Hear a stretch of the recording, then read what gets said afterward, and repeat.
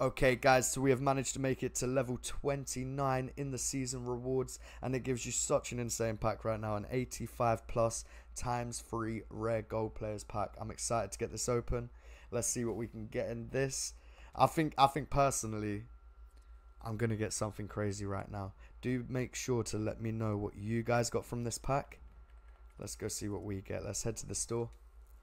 85 times 3. That is a crazy pack this early into FIFA. Okay, so the 85 plus times 3 rare gold players pack contains 3 rare gold players rated 85 or higher. Let's go, come on. I want to see a double walkout, come on, surely. Surely, no RTTK. No, no, no, no, no. Ah, no, it's a dupe. It's Ronaldo, though. It's the GOAT. It is a double walkout. Donnarumma. Nice. Not bad at all. Ronaldo and Donnarumma. Let's go. Let's go. That's awesome. Little double walkout of Ronaldo on there. Unfortunately, Ronaldo is a dupe.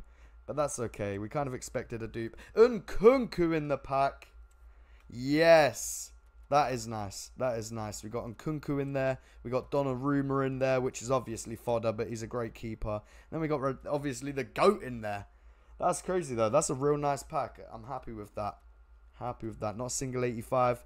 We do have the dupe, and it is an 86, so I kind of want to do something with that. But let me know what you guys got in the pack. You know the vibes. Let's go. Be sure to hit that like. Got the goat again, that's crazy, bro.